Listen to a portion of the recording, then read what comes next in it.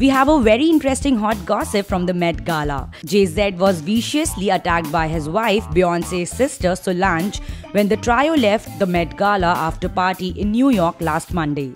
The 27-year-old was caught on the surveillance camera lashing out wildly at her brother-in-law with both her arms and her legs while her sister stood beside them looking curiously impassive.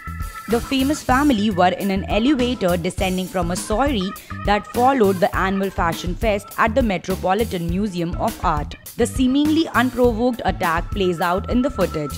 Solange can clearly be seen kicking and swinging violently at Jay-Z. In the footage, a man who looks to be a bodyguard tries to hold Solange back but she manages to rain blows on the rapper several times and even hits him with her purse. Beyonce tried to muster a showbiz smile as the threesome left but then tellingly departed with her sister in a car while her husband left separately. It's not yet known what provoked the fight. However, the famous couple looked as happy as ever as they attended a Brooklyn Nets game on Saturday, while Solange played a gig in New York. What do you guys think about this incident?